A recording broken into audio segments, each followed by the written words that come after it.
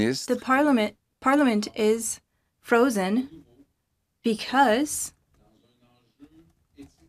there's another ethical problem with the prime minister. And he has apologized again, but we'll come back to that after.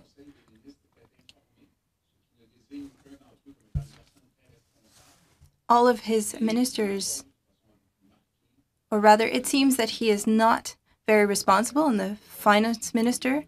I think that the ethics commissioner will have to look at that as well. Regardless of political bravado, it's not time to launch an election or and perhaps one of the parties would vote in favor of the government doing so, but it's probably not the time to do so. It's not the time to send 22 Canadians or Quebecers to the ballot. So we need to do what we can. Public health, public health and the economy are too fragile right now.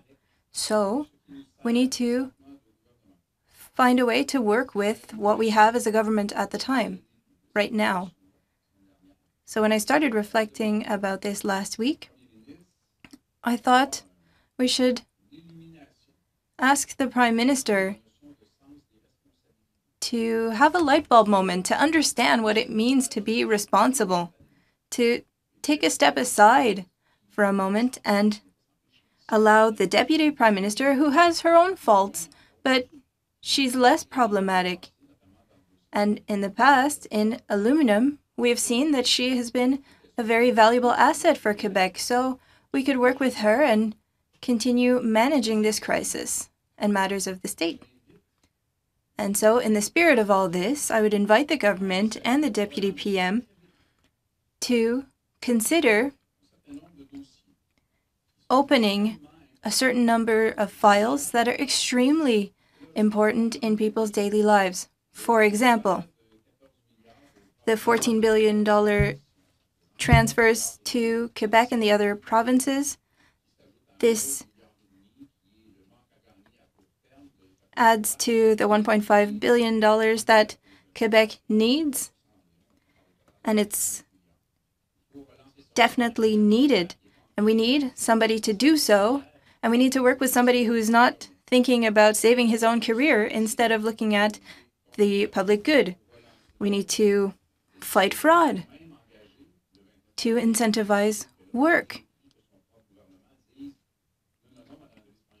I don't think the Deputy Prime Minister appreciated that we wouldn't be focusing on that. And then there was also people with disabilities these people still need assistance, and it's very urgent.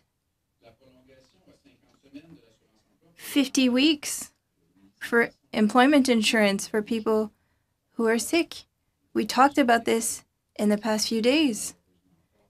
For Emilie, unfortunately, her health has not gotten better. She asked that the Prime Minister keep his word. He was nice because he was in front of her, but and modifications to the wage subsidy and the CERB for seasonal workers, for artists. There are still problems with these programs. Support for Quebec programs on aerospace and transportation, and we can talk about the assistance to Air Canada, who still refuses to refund tickets. More than 80% of people think that Air Canada should refund people who can't use their tickets. The North Coast, there won't be any service, there won't be any refund. So you can't even use your ticket to buy another one later. And then also C17 regarding justice. These are all things that can be solved quickly, and it would be in the interest of Canadians and Quebecers. And so the Bloc will be cooperating with the government and the Deputy PM so that we can evaluate these measures and we can make adjustments. We will also support the Conservatives' request to have Mr. Trudeau and perhaps Mr. Morneau testify because as soon as we understand what happened, the sooner we'll be able to get Canada back on its feet. We're not looking for a police in, or we can't get a police investigation as we can order a pizza. We don't have this authority. We all showed enthusiasm for this, but we can't order for this. If there's a uh, complaint, well, then it's the it's up to the police to decide whether or not to investigate. They're already perhaps looking at it, but to say that, well, we require, we demand an inquiry into the RCMP, well, we can't do that. So that said, on initiatives that could help us do better, I completely agree. So, in the coming days, and I've been traveling through regions in Quebec, and it is so interesting to go travel Quebec. I was in Charlevoix, I went to the Gaspé, and I've been to, of course, my riding, South Shore, Chambly. I'll go to the Rivière des Mille this weekend, and it is so nice to see Quebecers seeing each other. But we need to come back with a robust, solid, and viable plan for the fall. And in order to do so, the government needs to work and we'll see after that how long we'll let it work for. Question from Raymond Filion. Hello, Mr. Blanchet. So you and the Conservatives would like the Trudeau government to testify regarding the We Charity. Can he refuse? And what would it mean if he refused to testify at a committee? Answer. I'm not sure. I assume that it's binding, but I can't confirm this. And what would it show if he refused? Well, it shows that he doesn't want to shed light on this concerning situation. The Prime Minister of Canada is putting himself in a situation, and we know for this person there is no distinction ethically between his family and a charity. So, the Prime Minister in a way, took money to give it to his family and then gave a $19 million $19 billion program to a charity. They would have been responsible for $912 million. And We Charity hired and fired many people. When did they know that they were going to get a contract? Probably before June 25th this contract doesn't look good. And it shows, and I can't judge, that there's a significant conflict of interest here. And this is not the first time that the prime minister has put himself in a delicate situation.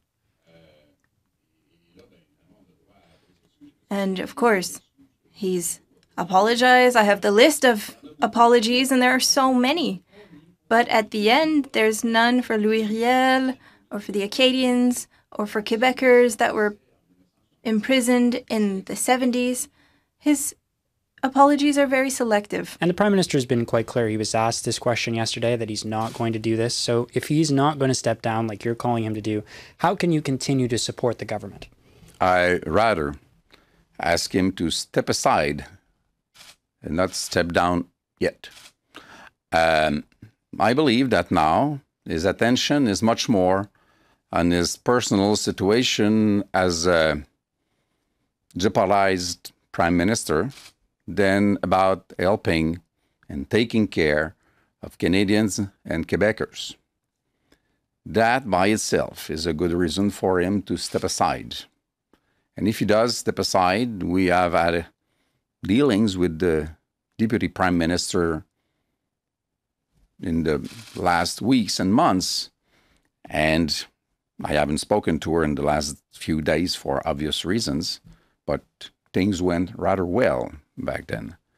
So I think this is the thing to be done. I do not believe, I don't know for Canadians, but I don't believe, and this might be checked out, but I do not believe that Quebecers want in the middle of a, a crisis when we are trying to get out of a crisis while the rest of the world is getting deeper in it.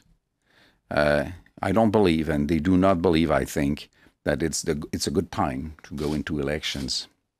This shall come rather rapidly than late, but not immediately. In the meantime, something must be done for the, the affairs of the state to be managed adequately. So we ask him to be responsible, step aside.